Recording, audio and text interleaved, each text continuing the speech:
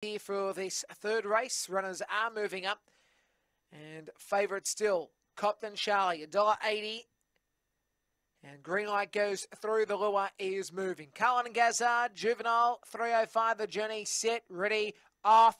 Started well, Compton Charlie, Compton Kelly Speed, pace to burn alongside Velocity Georgia. Now Moonlight Sid rolling forward. Compton Charlie leads by two. Compton Kelly from Moonlight Sid is really in a hurry, followed by pace to burn and Velocity Georgia. But Compton Charlie's off, and Compton Charlie won the prize. Compton Charlie first. Second in will be Moonlight Sid, and in third spot will be Compton Kelly from pace to burn Velocity Georgia. 17 and 5 the trip, race number three.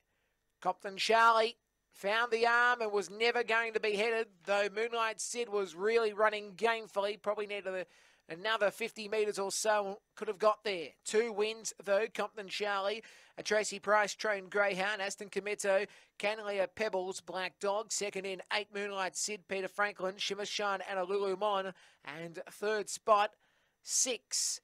Compton Kelly, Tracy Price, Aussie Infrared, Tandiki. Interim numbers 2864, race 3, Mount Gambier.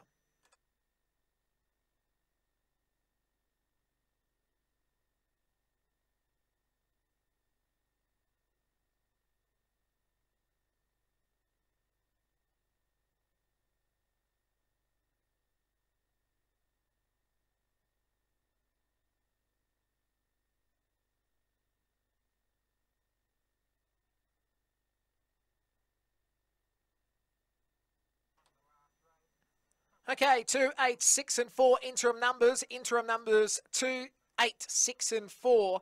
573 first section, run home 1179, 1752 time, two and three quarters by three lengths margin, and all clear's just popped up. All clear right the pay on two, eight, six, four, race three, Mount Gambier.